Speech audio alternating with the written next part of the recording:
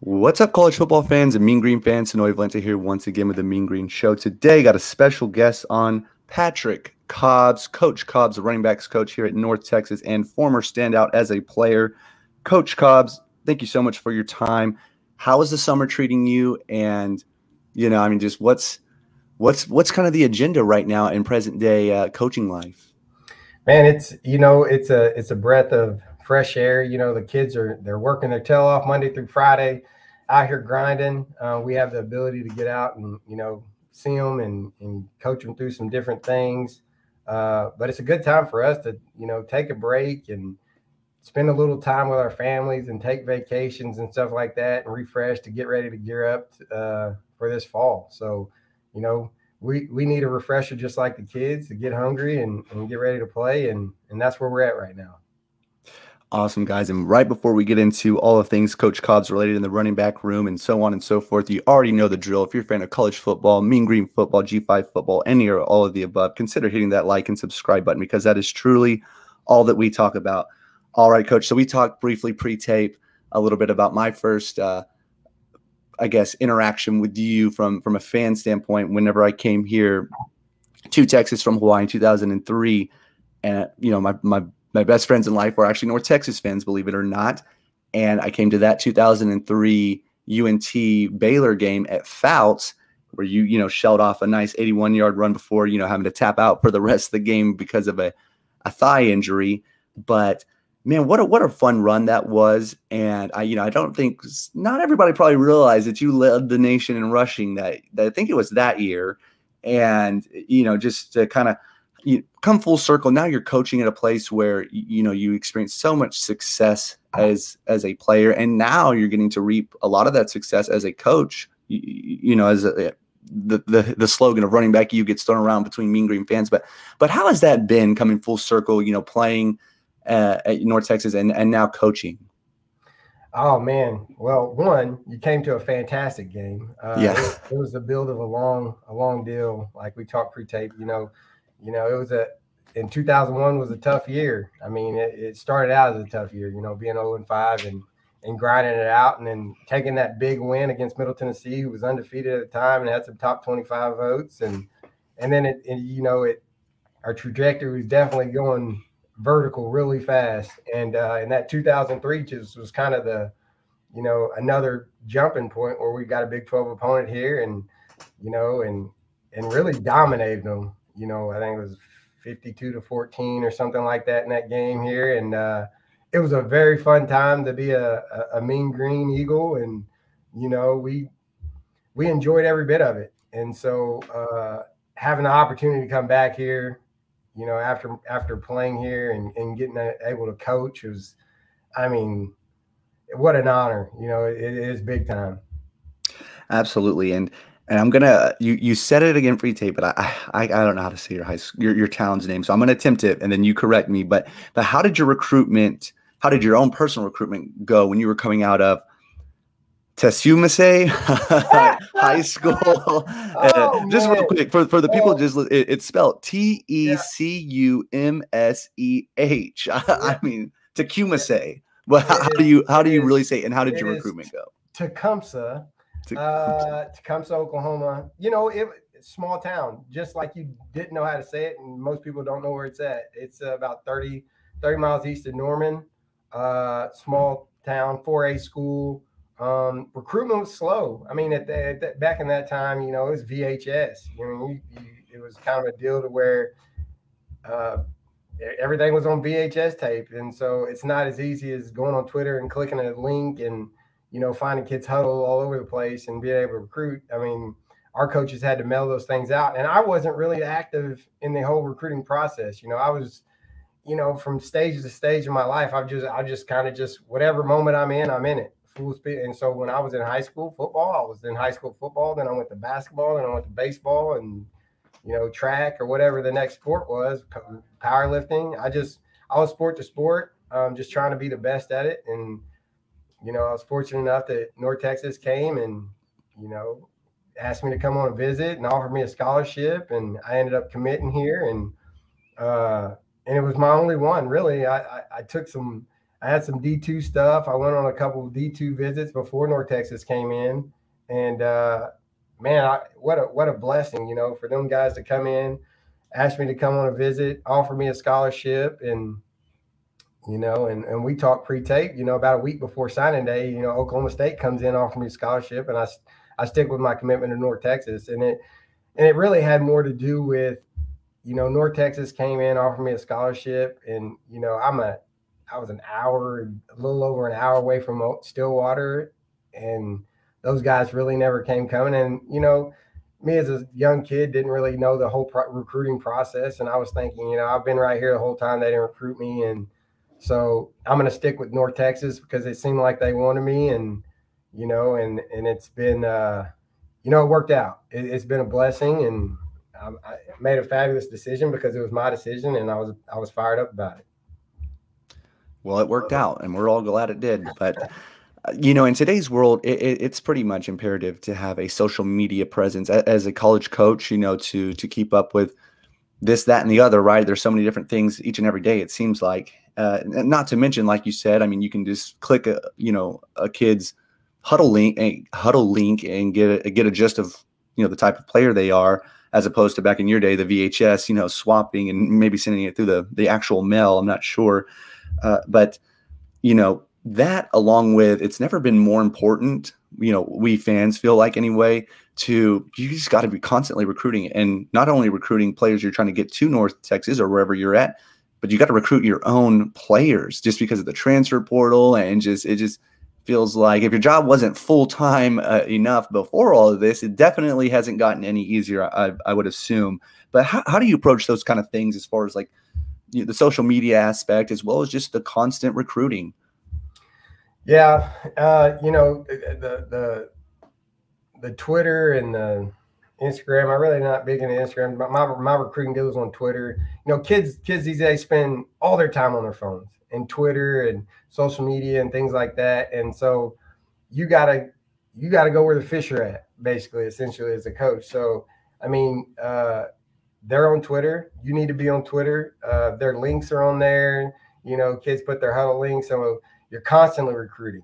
I mean, recruiting doesn't stop. You're always trying to find the next one and and you recruit your tell off on kids and you know, and land where it is. And as far as in-home guys, you know, with the, with the transfer portal and you know, kids grad transferring and all these things out there, you just got to build relationships with your own kids. I mean, you you you got to recruit your kids, but then you got to, you I mean, they got to know that you love them, and the decision if they're going to make it to go somewhere else has to be hard for them. You know, I mean, sometimes you know a kid feels like the best thing is for them to leave and Maybe it is, maybe it isn't. You can voice your opinion one way or the other. But if you're in it for the kid, um, you can honestly say it with you know conviction one way or the other, and not just in it for yourself. So you have to, you know, sometimes you give a kid, you know what, it probably is the right thing. You probably are a power five player, or hey, you're not, you're not going to go. I mean, it's you're making a bad decision. Um, I honestly make decisions like that. Uh, you know, I don't. I try not to get wrapped up in my feelings, but I try to really take it from the kid's perspective of, and give them my honest opinion. You know, me being, you know, it's just how I was raised. I, I, I try to give as many honest, you know, I mean, I give all honest questions or all honest answers, and I'll tell a kid exactly, you know, how I feel. Now, whether I'm right or wrong, I'm going to tell them how I feel and and my opinion on the matter when it comes to those kind of deals. But I want kids to be happy, and if he wants to transfer and I have to beg him to stay, he may not be happy if he stays. So it's kind of a double-edged sword. If the kid's already got one foot out the door, you know, sometimes it's best to say, "Hey, man, good luck to you. I hope you know. I hope things work out for you." And sometimes, yeah, kids, and sometimes they want to talk through it. So it's just, it's just different, man. It's it's a different. You you got they just threw more on your plate, you know, and because some kids are chasing money, some kids grew grew up in hard situations, and mm. you know, you start putting money into the equation for you know 18, 19, 20, 21 year old kids. I mean, they'll chase, you know, they'll chase 700 bucks, you know, so you just don't know. You just never know. Right, right. Spot on with that, I, I believe. So last year, uh, you know, Adaway, Oscar Adaway suffers a freak injury preseason, and you know, again, speaking from a fan's perspective, it really put a, a pretty big rain cloud on uh, the the aspirations of maybe the running game and maybe how the offense was going to run through Adaway. Uh, again, our our thought process as fans, right? Um, and then, you know, to our delight and surprise, I mean, you not only have a, a an attempted replacement for Adaway, you have three that are freshmen in, you know, Johnson, Adeyi, and Ikaika Ragsdale. I mean, what kind of comfort did you get as a coach knowing that you've lost the assumptive starter for last season in Adaway, and you know you have three variable options that could arguably be starters in this league at, at, other schools, at some of these other schools at least, right? So, I mean, how, how does how did you guys take that on as a room, and what kind of feelings did you get? You know, again, seeing uh, you know those three really step up. You know, it was uh, it, it's it's all a process, but you know, we our whole room, man, it's all about competition every single day, and so. It, it's funny, and I and I tell I tell guys this all the time. And the very like, and I'm about to go back. My very like one of my very first meetings uh, in Bill Belichick and New England Patriots. He said this. He came into the room and he said, "Football was here before you, and football will be here after you." So the best thing we can do is enjoy it while we're here. I mean, because it's going to be before you know it, it's going to be gone. And so we take the same approach in our room. Like everybody in that room has the opportunity to play, and I want I want the decision for me at the end of the day to be the hardest decision in the world of which running back I'm gonna I'm gonna play. And those those guys buy into that. They come to work every single day. They bust their tail, and I mean it. And I mean it. If, if I'll tell them we we'll go to practice and we'll go after practice, I'll say, "Hey, look, you had a great day today," or "Hey, you need to pick it up. You didn't do it. Do so hot." And they know exactly where they stand and where they were and what the, what the practice looked like. And sometimes they know, sometimes they don't know. Sometimes they feel like they had a good day, and then we watch the film and they're like, I felt like I had a good day, but it was a terrible day. So um, they go in, they compete their tails off, and one guy goes down, the next guy's ready to step up because he's been preparing this whole time to be the starter or try to be the starter or work his tail off to be the starter. And it's it makes our room stronger. Our standard in our room goes up. So missing Oscar was was nobody was more hurt than me. You know, I that I was shot in the gut when when it happened. But you know, we got our time to kind of do it. Oscar's a tough kid. He's battled his tail back, and uh, you know, it's going to make the room even. I mean, the room is better with Oscar in it. I can tell you that the room is better with Oscar in it.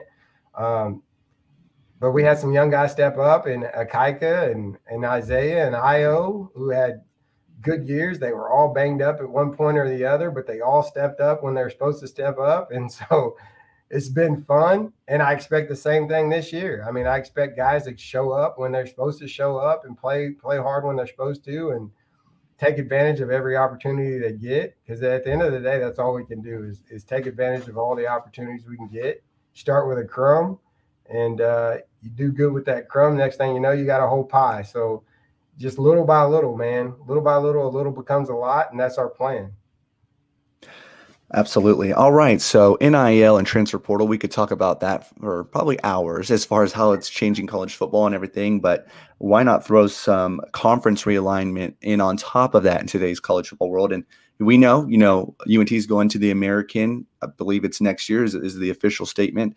Uh, but we had some members of Conference USA leave early and just kind of threw everything through our, you know, all the schedules ripple effects probably throughout the nation, quite literally uh, not just them, but just you know other schools as well. That being said, as far as North Texas goes, North Texas is typically plays an FCS school, you know, week one or zero, followed by another. I know they're a rival, but preseason as a, them not being in conference yet, like an SMU or something like that. This year, that's not the case. It's you know week zero traveling to UTEP where it's about a million degrees and playing a really good UTEP, you know, had a really good season in conference uh, opponent. So there's no warm up at all. It's right into the fire. It's high risk, high reward. Do, do you guys put any stock into that at all, really, or is it just you know what we, we that's out of our control? We just play who we who we're assigned to play. Yeah, you. I mean, we come to work. It, it doesn't matter who it is, week one, week two, whatever. You, you got to be ready to play for every opponent. Winning's hard. I mean, it is. Winning's hard. You got to show up and be ready to compete your tail off. I mean, whether that's, you know, Texas Southern later in the week or uh, Memphis, you know, you you got to come and be ready to play football against anybody. Now, starting week starting week zero with uh, UTEP I mean, it's to be a, it's to be a great and fun challenge. We got to. I mean, when you get the conference play, your level of play needs to rise another couple notches. Well, we're to rise a couple notches week one. So I'm fired up about the opportunity, uh, or week zero rather. I'm fired up about the opportunity. Is UTEP's week zero as well. So who's going to become? Who's going to be more polished? Um, who's going to be able to knock the rust off faster, or who's going to have, you know, you know, be ready to go. I mean, UTEP's a good opponent. They're an in-state rival, so we're excited about the opportunity. I mean, last year it came down to, you know, last second. So, you know, we got to go to their place and it'll be fun. All right. Last question before I let you get out of here. So, in your opinion, I know I'm kind of put you on the spot here. Do you think UNT may have the most fittest coaching staff? And how do you think uh, you guys would fare in like a, a ring mm. style? Wrestling match. I mean, we got you. I'm not going to ask you to take your shirt off or anything, but we can tell you're, you're still in shape. Uh, you know, you got Coach Shambar, Coach Littrell, Coach Holly, and others. Coach Bennett's crazy enough to wear shorts in, in you know whatever kind of weather. So, mm-hmm. I mean, what what is your thought on that? I mean, do you guys have mandatory lifts you have to hit as coaches? Why why do you think there's so many fit coaches in this coaching staff? Ah, uh, you know, you just don't want to be the I don't know. I mean, everybody, everybody, everybody busts their tail, and you know it, it, it, starts from the top and works its way down. I mean, Coach Littrell stays in shape. I think the baddest dude in our whole office is Coach Womack, and there's no question. Our strength and conditioning coach. There's there's not a person in this building that would mess with that guy. When you got cauliflower ears, you don't mess with them. So I'd put him up against anybody in any place at any time, and I, would be right behind him. So, so we, uh, it's fun. You know, we have a fun staff. We enjoy each other. Um, you know, I it I can see our staff going against any staff in Conference USA. That's for sure. for sure, maybe in the nation. But well, hey, coach, thanks so much for your time. Great, uh, good luck for this upcoming season, and you know, try to enjoy the rest of your summer and uh, take some much uh, as much time as you can. Need Needed time off, but you know, we'll talk soon. And, and, and thanks again. I appreciate you, man. Hey, tell your son a Kaika I said hello. Look at that. I will. I will. Absolutely. Tell your Kaika I said hello. All right. Sounds good, man. See ya.